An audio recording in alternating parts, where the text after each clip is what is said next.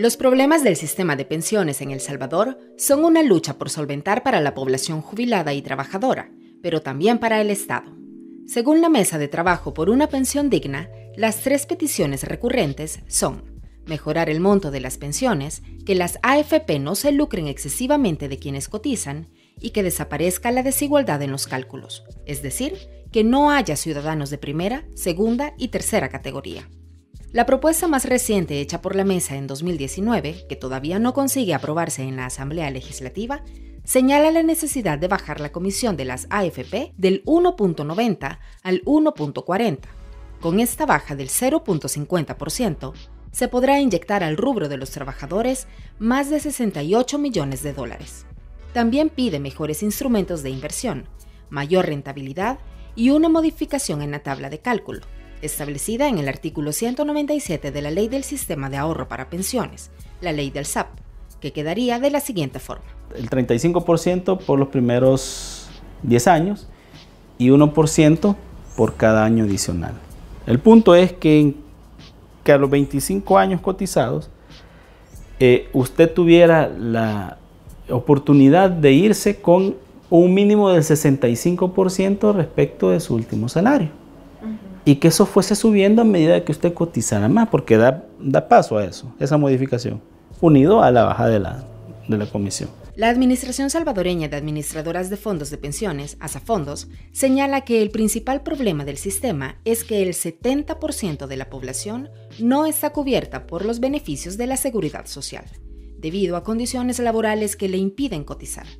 Lo segundo es que hay pensiones muy bajas, lo cual fortalece la idea de mejorar el financiamiento. Esa fuente de financiamiento hoy por hoy para muchos casos no es suficiente para pagar una pensión de un monto adecuado de sustitución del ingreso que provenía del salario y por tanto hay que trabajar tanto en políticas eh, que vayan orientadas a asegurar que los salvadoreños puedan ahorrar más durante su vida laboral activa y que ese ahorro pueda generar una mayor rentabilidad para que cuenten con dinero suficiente para autofinanciarse en una pensión eh, sostenible y suficiente para cubrir sus necesidades. Actualmente, solo una de cada cuatro personas trabajadoras cotiza al sistema, lo cual representa una de las principales críticas a un mecanismo que no tiene enfoque de derechos a la hora de dar cobertura. Quiere decir que vamos a seguir viendo estas escenas de personas de 70, 80 años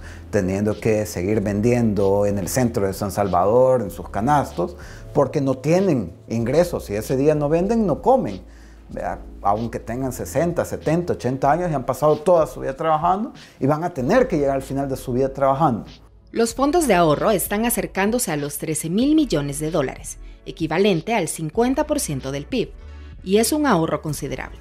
Sin embargo, Asafondo señala que ese monto podría haber superado los 16 mil millones de dólares si no fuera por las distorsiones que se han incorporado en el régimen de inversiones y que impiden generación de rentabilidad.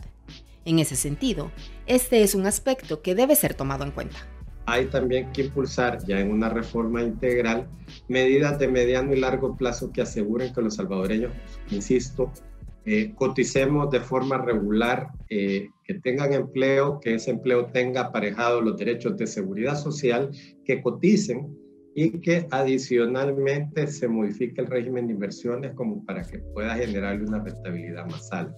El 4 de marzo, el ministro de Hacienda Alejandro Zelaya aseguró que tomando en cuenta que el partido Nuevas Ideas tendrá la mayoría en la representación de la Asamblea Legislativa desde este primero de mayo, se presentará una propuesta para cambiar el sistema de pensiones, que buscará beneficiar al cotizante, al Estado y a los administradores de fondos de pensiones. Para la mesa, las administradoras privadas no deben desaparecer necesariamente, pero es importante que no se les beneficie más, y por el contrario, se regule la ganancia, algo que favorecería a las personas cotizantes y al Estado mismo. Además, considera que la reforma integral no puede postergarse más. Se tardó 100 años el país en implementar el primer esquema. ¿Cuánto nos hemos tardado en construir el sistema? ¿Ya? Desde que nació este país nos hemos tardado y no lo hemos logrado construir, ¿ya? por lo que he dicho, porque no hemos incluido los sectores históricamente excluidos, no hemos eliminado la desigualdad y la inequidad en cuanto al reconocimiento del derecho humano a la seguridad social. Para obtener una reforma integral al sistema de pensiones con enfoque de derechos, deben estar involucrados en el diálogo todos los sectores. Además, también es fundamental que exista una Contraloría Pública y transparencia por medio de un ente autónomo del Ejecutivo. Eh, porque eso te asegura, independientemente del gobierno que llegue, independientemente de eso, eso es importante. O sea, el sistema de pensiones debe ser manejado de manera sostenible, más allá de colores partidarios. Ese, ese sistema, ese, esa institución autónoma que vea el sistema de pensiones, debe regirse por el principio de máxima publicidad. Ahí sí no se vale eh, lo de información reservada. Lo único que podría ser reservado ahí son los nombres de las personas si se los pide un tercero, pero todo el manejo debe de ser abierto. La lucha por cambiar el sistema y acceder a pensiones dignas continúa, y con la llegada de una nueva Asamblea Legislativa, economistas y diversos sectores de la sociedad civil esperan que haya un análisis serio y urgente al respecto que permita solventar las problemáticas del sistema a corto, mediano y largo plazo.